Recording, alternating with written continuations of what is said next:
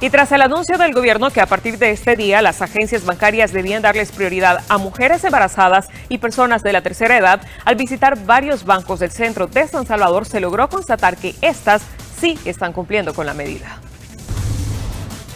Mire, fíjese que a mí me tocaba como el 14 parece, no, el 11 pero fíjese que como dijeron que viniéramos todos los de la tercera edad porque es lo que iban a atender primero, no sé.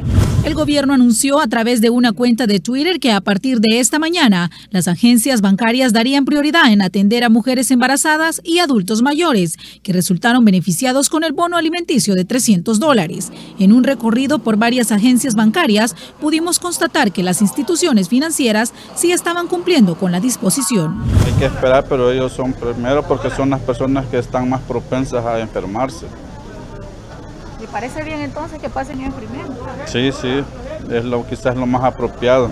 Sin embargo, la mayoría de adultos no contaban con la suficiente información respecto a dónde les correspondía cobrar sus 300 dólares. Pero hemos venido ahora, no porque los tocaba, a mí me tocaba el 13, pero como anoche dijo él que viniéramos las de tercera edad, por eso Luego que los adultos mayores intentaran cobrar su dinero, en algunas agencias financieras les negaban la entrega por no contar con una cuenta bancaria, por lo que personas de la tercera edad tenían que trasladarse a otro lugar. Dijeron que, que esperar a la 29 de esta esquina para allá sí. ¿No le tocaba en este banco, le dijeron? No, me dijeron que no. ¿Y la mandaron para otro? Para Metro. ¿Y usted anda solita? Solita. ¿Pero la pasaron primero? Sí, me pasaron de las primeras. Para el escalón me mandan porque es que aquí solo es para los que tienen cuenta.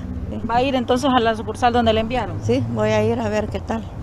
También constatamos que en algunas agencias sí cumplieron con la medida de prevención. Sin embargo, en algunas, la multitud de personas era inevitable. Y aunque los adultos mayores ya habían sido ordenados y priorizados, aún así la fila de personas longevas era larga.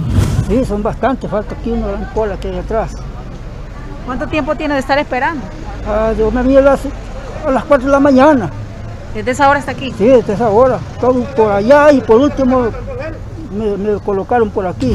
Otras personas que también llegaron a cobrar la ayuda económica no ocultaron su inconformidad por lo que llaman poca información con los cambios de logística, ya que aseguran que desde tempranas horas estaban esperando ser atendidos.